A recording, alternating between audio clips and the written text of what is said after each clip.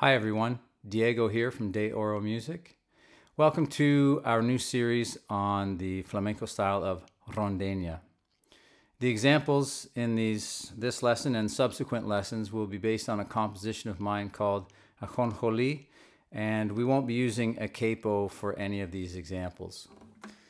Our rondeña tuning, as always, is drop D, A, D, F sharp, B, and E.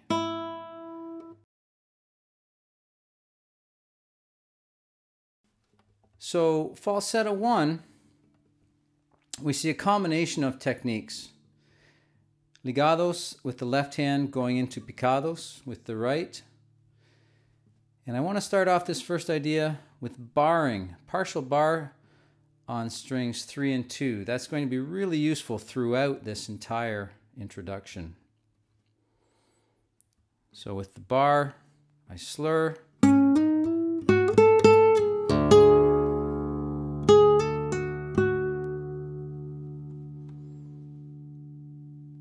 The answer to that now, again, starting out just the same, partial bar, slur going into picados.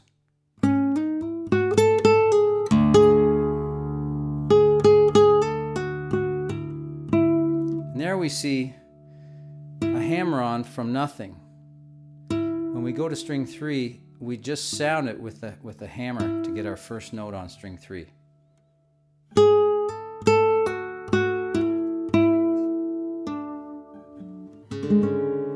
Down to our C sharp chord. Next ideas starts out the same, partial bar, slur to picados. Now,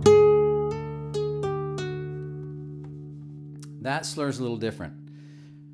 From third finger, hammer four, pull off now, chromatic.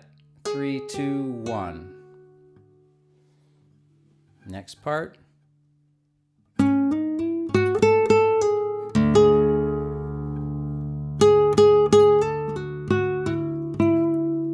Again, that uh, hammer from nothing.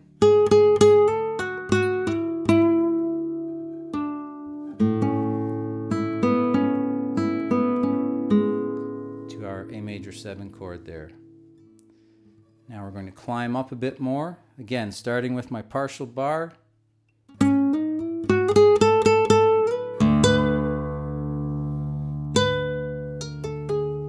Chromatic slur again four, three, two, one.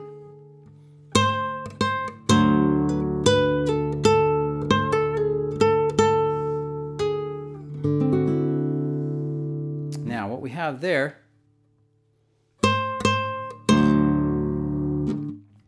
our thumb resting on string six and our middle finger on string two are both going to play, but our middle finger we need a strong free stroke and to get some other strings, at the very least string 3 in there.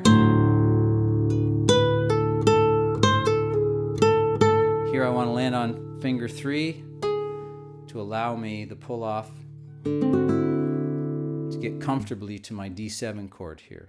So again that's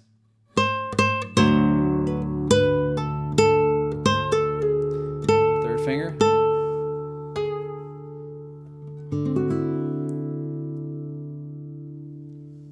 Finish off. Now, same idea that we saw before, but strings two and one. Starting with slurs, and we've got the partial bar on strings two and one. Now, really key to getting into this, this is an A major seven chord, really key to getting into this is to slide that fourth finger back, if you can see that.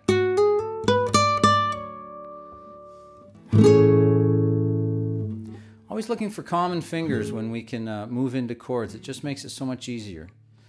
Full bar.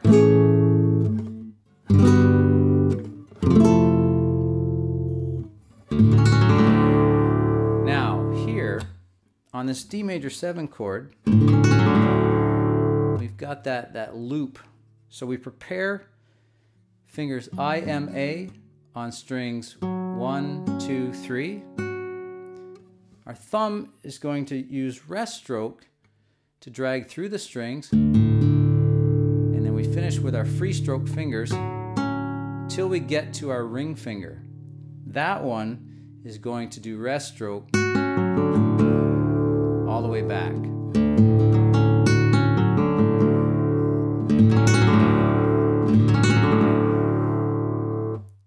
A nice powerful loop. Very useful, very common.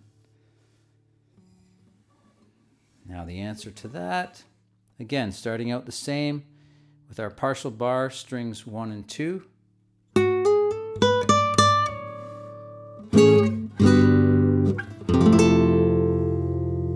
Now we do the first half of that, that, don't even know what to call it, with that, the first half of that thing. Um, only free stroke with all our fingers, only going up. Leading into this slur section. And then with our thumb technique, pulgar. Doesn't matter how far you slide.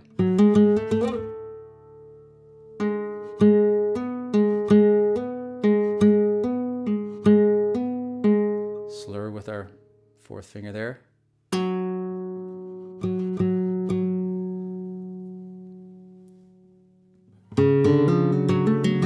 And that leads into the next falseta.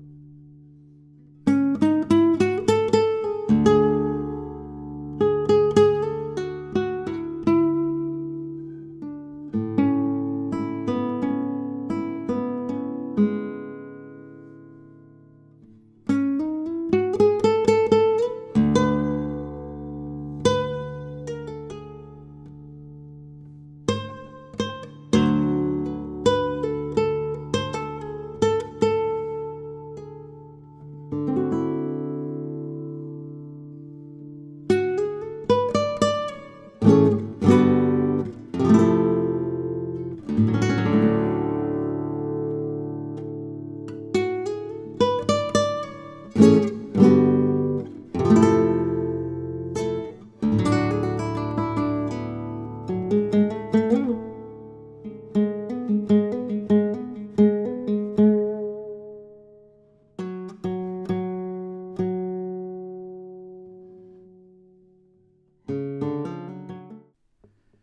practice the technique necessary for this falseta, really we can break the technique down into just two simple uh, exercises. First one being with our partial bar, uh, we're going to pick string three with our I finger and hammer, and then string two with our M finger.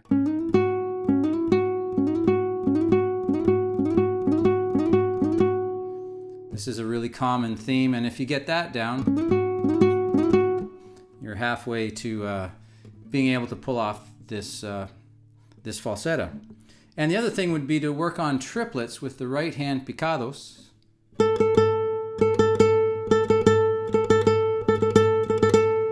Uh, alternating, so start with M, and then start with I, and then M, I putting the accent on the last note.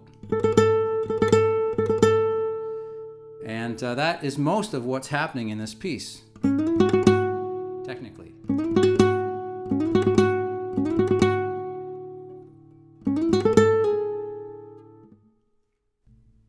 Some advice about the interpretation of this falseta is just think about tension and release, tension and release. So creating the tension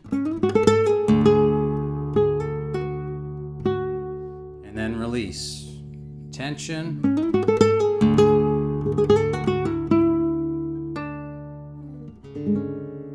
and release. Uh, and overall, just as it goes uh, from beginning to end, it, it gains more and more momentum. Keep that in mind, and that'll go a long way to interpreting this falseta.